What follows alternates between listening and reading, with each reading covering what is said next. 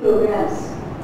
And we are also observing and celebrating the birth centenary of Mahatma Gandhi. In this regard, everybody wants the future of the country has to be very bright. And to brighten that part, the work should start from the grassroots level. And you are our future. The reading of the books, the reading habit has to be enriched and enhanced. So today, we are going to conduct a quiz just to test your familiarity, where you stand. How much do we know about our father of nation? Should we be in dark yet? Should we read more about him? Let's see and let's try. In order to make your work a little simpler, I will be reading out the option only once. Listen to me very carefully and then try to answer. Every time should not be a guesswork. Shall we? Mohandas Karamchand Gandhi was born on 5th October 1896, 3rd October 1840, 2nd October 1869, or 2nd October 1880. Excellent, excellent, very promptly answered. Really good, really good. Unto This Last. Name of the book is Unto This Last. Greatly captivated and transformed Gandhiji. So much so that he translated it into Gujarati. Who was the author? The name? Ruskin Bond, John Ruskin, Leo Tolstoy and Louis Fisher. That was a part of guide, yes. The correct answer is John Ruskin. Which of the following, according to Gandhiji, is an essential principle of Satyagraha? As an essential principle of Satyagraha. Okay. So, walking down memory lane through your history books, infinite capacity for suffering, non-violence, truth. Good. Good. Good.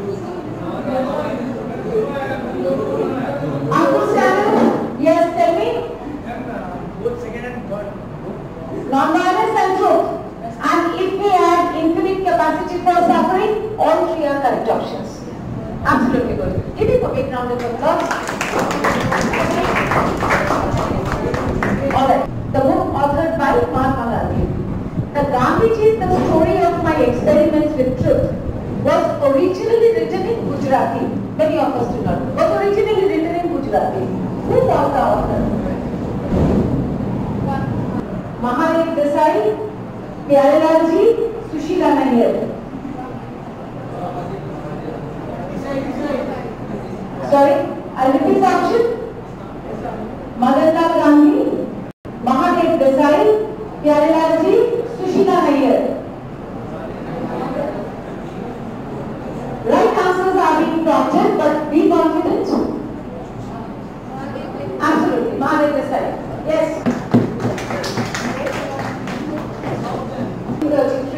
Gandhiji started the publication of a weekly paper, right? Harijan, to promote the anti-untouchability campaign. Its first issue was out on February 11, 1933 from Bombay, Ahmedabad, Pune or Nasik. I think this time the whole group is going to the wrong path. It is Pune.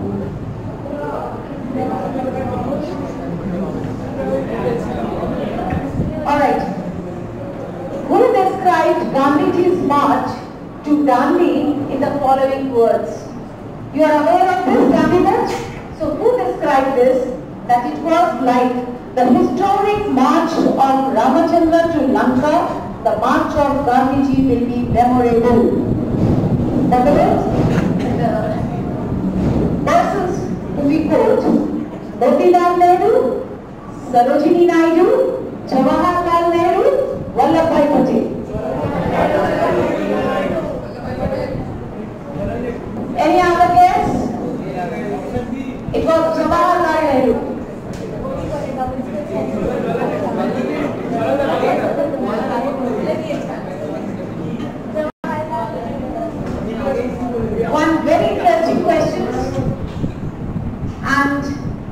a white place guess also. Which of the following did Gandhiji describes as his two lungs? As his two lungs. Ahimsa and peace. Ahimsa and truth. Truth and peace. Brahmacharya and aparigraha. Sorry? Yes, that was the right answer. Ahimsa and peace.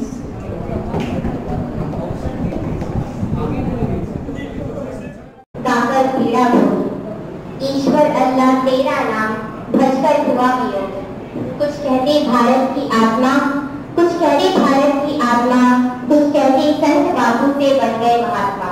Sabarmati का संस्कर सत्य अहिंसा की मूर्त है। श्रद्धा खादी वाला आज़ादी के रंग में जिसने जग को ही रंग डाला महात्मा गांधी हर भारतीय के लिए एक महत्वपूर्ण व्यक्तित्व है। कोई भी भारतीय देश आंदोलन में उनके योगदान को नहीं भूल सकता उनका जन्म 2 अक्टूबर सन 1869 में हुआ था उनके पिता का नाम करमचंद गांधी था एवं वे राजकोट रियासत में एक निवास थे उनकी माता का नाम पुत्री बाई था जो कि एक धार्मिक महिला थी अगर बात की जाए गांधी जी के बचपन की तो वे एक नियमित एवं अनुशासित छात्र थे मैट्रिक की पढ़ाई पूरी करने के बाद गांधी जी, कानून की पढ़ाई करने के लिए इंग्लैंड चले आए जहाँ उन्होंने वकालत की परीक्षा उत्तीर्ण की और फिर वापस भारत लौट आए सिर्फ़ धरती पहनने वाले दुबले पतले शरीर वाले बाबू ने दूसरों के जीवन पर एक जारी प्रभाव डाला वे बिना दिखावे की साधारण जीवन जीने में विश्वास करते थे। उनकी सत्याग्रह के विचार ने लोगों के सामाजिक जीवन पर एक गहरा प्रभाव डाला।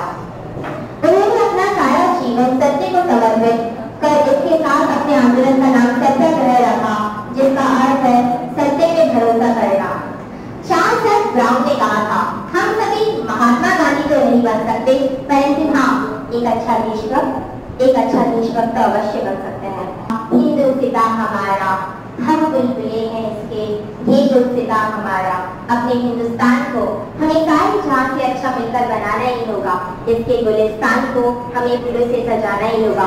गांधी जी के स्वच्छ भारत के सपने को हमें साकार करना ही होगा और अंत में देश को हमें स्वयं से पहले रखना ही होगा। धन्यवाद।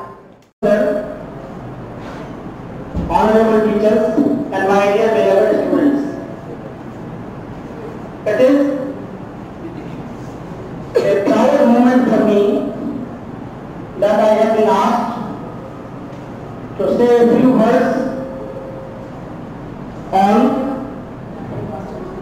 the life of Mahatma Gandhi. Gandhiji, you know,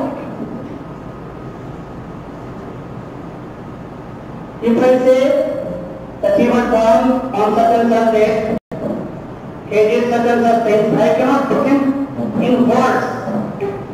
कि पराकाष्ठा उनमें कितनी थी जब वो बच्चे थे, स्कूल में जब पढ़ते थे तो एक बार इंस्पेक्टर साहब निरीक्षण के लिए आए इंस्पेक्ट फॉर इंस्पेक्शन जैसा कि आपके विद्यालय में होता है। उन्होंने बच्चों को इंस्पेक्टर साहब ने बच्चों को कुछ शब्द लिखवाए स्पेलिंग कक्षा में अध्यापक मौजूद थे उन्होंने इशारा किया गांधी जी को लिखने के लिए लेकिन गांधी जी ने उनकी नहीं सुनी इसके फलस्वरूप गांधी को क्या हुआ? सारे बच्चों का स्पेलिंग ठीक हुआ? केवल गांधी जी ने एक शब्द का स्पेलिंग ठीक से नहीं लिखा। शिक्षक महोदय के कहने के बावजूद, वे अधिक रहे आप समझ सकते हैं कि सत्य की और ईमानदारी की पराकाष्ठा उन्हें कितने थी गांधी जी की माई एक्सपेरिमेंट विद सत्य के साथ मेरा प्रयोग, ग्राम स्वराज और सुनो विद्यार्थियों, सुनो। ये तीन किताबें Sarovara book stall Agra station अगर आप आएँगे कभी ट्रेन पकड़ने के तो वहाँ इंक्वायरी ऑफ़िस के बगल में है। मैं उनका कोई एजेंट नहीं हूँ। मैं बता रहा हूँ आपको कि कहाँ ये किताबें आपको मिलेंगी। उस दुकान पर ये किताबें मिलेंगी। अगर आप पढ़ लेंगे इन तीनों किताबों को प्रोत्साहन तो मुझे लगता है कि आपके जीवन में, आपके आचरण में एक आमूलचूल परिवर्तन हो जाएगा। गांधी जी नियम के बड़े पाबंद थे। नियम के बड़े पाबंद थे, समय के बड़े पाबंद थे। मैंने सुपाई कह सकते थे समय के बहुत पाबंद थे। और उनके जो